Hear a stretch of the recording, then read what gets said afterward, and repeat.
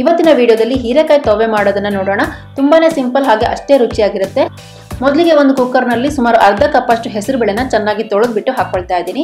ಹಾಗೆ ಒಂದು ಹೀರೆಕಾಯಿನ ನಾನು ಥರ ಸಣ್ಣದಾಗಿ ಕಟ್ ಮಾಡಿಕೊಂಡು ಹಾಕ್ಕೊಳ್ತಾ ಇದ್ದೀನಿ. ನೀವು ಬೇಕಾದ್ರೆ ಸ್ವಲ್ಪ ದೊಡ್ಡದಾಗಿ ಕೂಡ ಕಟ್ ಮಾಡ್ಕೊಳ್ಬೋದು.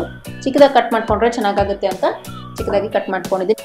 ಇದನ್ನು ಕೂಡ ಕುಕ್ಕರಲ್ಲಿ ಹಾಕೊಳ್ತಾ ಇದ್ದೀನಿ.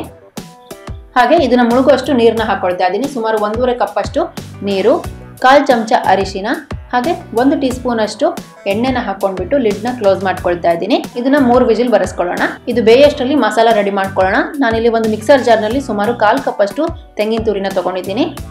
ನಾಲ್ಕರಿಂದ ಐದು ಹಸಿಮೆಣಸು ಒಂದು ಇಂಚಷ್ಟು ಶುಂಠಿ, ಅರ್ಧ ಚಮಚದಷ್ಟು ಜೀರಿಗೆ.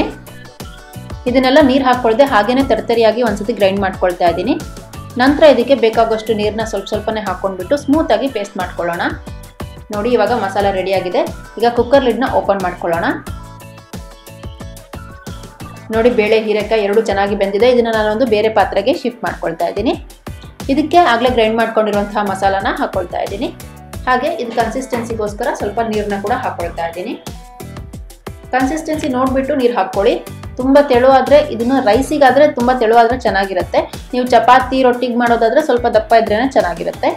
ಈಗ ಇದಕ್ಕೆ ರುಚಿಗೆ ತಕ್ಕಷ್ಟು ಉಪ್ಪು, ಹಾಗೆ ಹಿಂಗೇನಿದೆ, ಅದನ್ನು ಸ್ವಲ್ಪ ನಾನು ಪೇಸ್ಟ್ನ ನೀರಲ್ಲಿ ಸ್ವಲ್ಪ ಡೈಲ್ಯೂಟ್ ಮಾಡ್ಕೊಂಡ್ಬಿಟ್ಟು ಹಾಕೊಳ್ತಾ ಇದ್ದೀನಿ. ನೀವು ಹಿಂಗೆ ಪೌಡ್ರ್ ಯೂಸ್ ಮಾಡ್ತಿದ್ರೆ ಲಾಸ್ಟಿಗೆ ಒಗ್ಗರಣೆಗೆ ಹಾಕ್ಕೊಳ್ಳಿ. ಈಗ ಚೆನ್ನಾಗಿ ಮಿಕ್ಸ್ ಮಾಡ್ಕೊಳ್ಳೋಣ. ಮೀಡಿಯಂ ಫ್ಲೇಮಲ್ಲಿ ಇಟ್ಕೊಂಡ್ಬಿಟ್ಟು ಚೆನ್ನಾಗಿ ಕುದಿ ಬರ್ಸ್ಕೊಳ್ಳೋಣ. ಕುದಿತಿದ್ದ ಹಾಗೆ ಇದಕ್ಕೆ ಕೊತ್ತಂಬರಿ ಸೊಪ್ಪನ್ನ ಹಾಕ್ಕೊಳ್ತಾ ಇದ್ದೀನಿ. ಚೆನ್ನಾಗಿ ಕುದಿ ಬರಲಿ ಇದು ಟೇಸ್ಟ್ ಚೆನ್ನಾಗಿ ಬರುತ್ತೆ.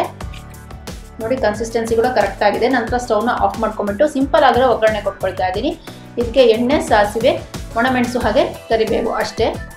ಒಗ್ಗರಣೆ ಹಾಕೊಂಡ್ಮೇಲೆ ಇದಕ್ಕೆ ನಾನು ಅರ್ಧ ಲಿಂಬೆ ಹಣ್ಣಿನ ರಸ ಹಾಕೊಳ್ತಾ ಇದ್ದೀನಿ. ನಂತರ ಇದನ್ನು ಚೆನ್ನಾಗಿ ಮಿಕ್ಸ್ ಮಾಡ್ಕೊಳ್ಳಿ. ಬಿಸಿ ಬಿಸಿ ಅನ್ನೋದ್ ಜೊತೆ ತುಂಬಾ ರುಚಿಯಾಗಿರುತ್ತೆ. ನೀವು ಇದನ್ನ ಒಮ್ಮೆ ಟ್ರೈ ಮಾಡಿ ನೋಡಿ ಹೇಗಾಗಿದೆ ಅಂತ ನನಗೆ ಕಾಮೆಂಟ್ಸ್ ಅಲ್ಲಿ ತಿಳಿಸಿ. ನಿಮಗೆ ವಿಡಿಯೋ ಇಷ್ಟ ಆಗಿದ್ರೆ ಲೈಕ್ ಮಾಡಿ ಶೇರ್ ಮಾಡಿ. ಹಾಗೆ ನೀವಿನ್ನು ನಮ್ಮ ಚಾನಲ್ಗೆ ಸಬ್ಸ್ಕ್ರೈಬ್ ಮಾಡಿಲ್ಲ ಅಂದರೆ ದಯವಿಟ್ಟು ಸಬ್ಸ್ಕ್ರೈಬ್ ಮಾಡ್ಕೊಳ್ಳಿ. Thank you